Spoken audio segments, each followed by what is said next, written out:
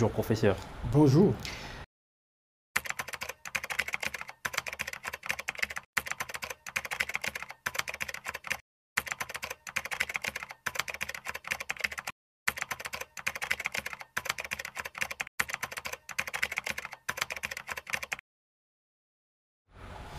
Merci pour la question. D'abord, euh, je voudrais rappeler à ceux qui vont nous entendre que l'affaire 100 jours a été, l'alerte a été faite par l'ODEP le 8 janvier 2020. Euh, Et c'est à base de cette alerte euh, qui décrivait la mauvaise gouvernance, la gestion calamiteuse du programme de 100 jours qui a débouché sur les actions judiciaires et puis sur euh, le procès et l'arrestation de certaines grandes personnalités euh, du pays, dont les directeurs de cabinet du chef de l'État, les directeurs généraux d'entreprise. Donc, euh, voilà donc pour le petit rappel. Maintenant, mon appréciation, c'est que je pense que le procès était nécessaire parce qu'il y a eu des fautes graves qui ont été commises. Des fautes graves. D'abord, euh, des lois ont été violées. On n'en a pas assez parlé au procès. Les lois ont été violées. Vous savez, lorsque euh, on vote les budgets, c'est une loi. C'est la loi des finances de l'année. Personne ne peut modifier quoi que ce soit par rapport à cette loi sans passer par le Parlement. Le programme de 100 jours a été fait en dehors de la loi des finances de l'année, en violation de la loi des finances de l'année.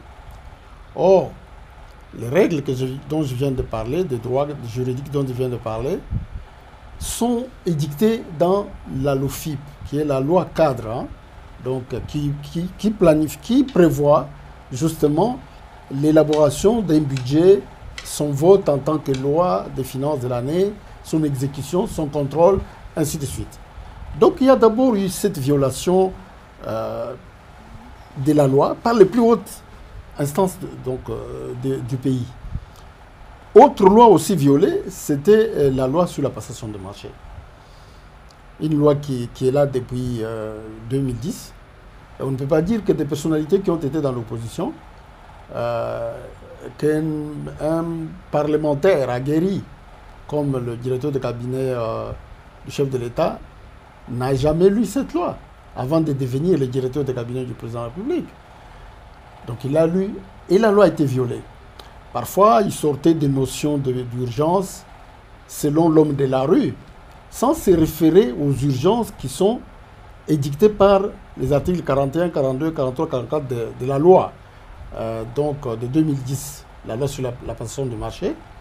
Et donc, on a assisté comme ça à une violation euh, pour vraiment des, lois de la République, en, en, oubliant même que l'organisation des finances publiques c'est repris par la Constitution, c'est institué par la Constitution. Et que donc la LOFIP, entre autres, la loi cadre sur les finances publiques, cette loi, elle émane de la Constitution. Et donc, quelque part, même la Constitution a été énervée dans, euh, dans cette affaire. Et donc, pour, pour moi, euh, c'est un procès exemplaire, pédagogique.